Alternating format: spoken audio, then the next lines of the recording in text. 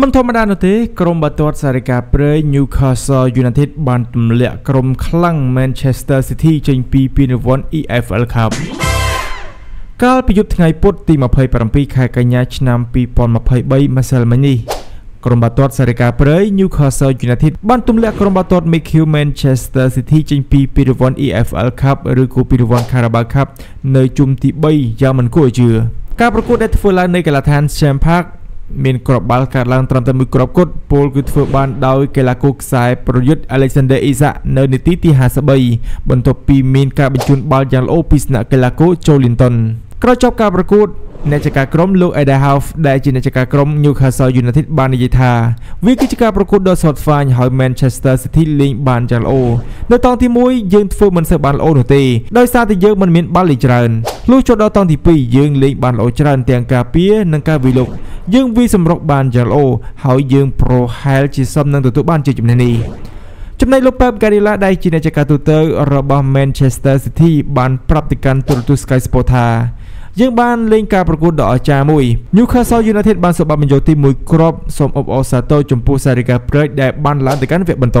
គូបញ្ជាព្រះថាក្រោយពីទម្លាក់ Manchester City ប្រកួតបន្ទាប់នៅក្នុងពិរវ័ន EFL Cup នៅពេលនេះក្រុមបាល់ទាត់សារិកាព្រែក Newcastle United នឹងត្រូវប៉ះជាមួយនឹងក្រុមបាល់ទាត់បិសាចក្រហម Manchester United នៅជុំទី4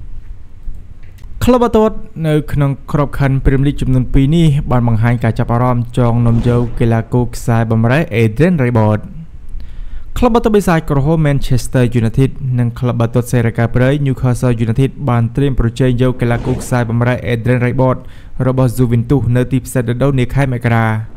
ក្លឹបបាល់ទាត់បិសាចក្រហមគឺជាក្លឹបដែលពេញចិត្តទៅនឹងកីឡាករសញ្ជាតិបារាំងហើយត្រូវបានផ្សារភ្ជាប់យ៉ាងខ្លាំងជាមួយនឹងការផ្លាស់ទៅកាន់ទឹកដី Old Trafford កាលពីរដូវក្តៅមុន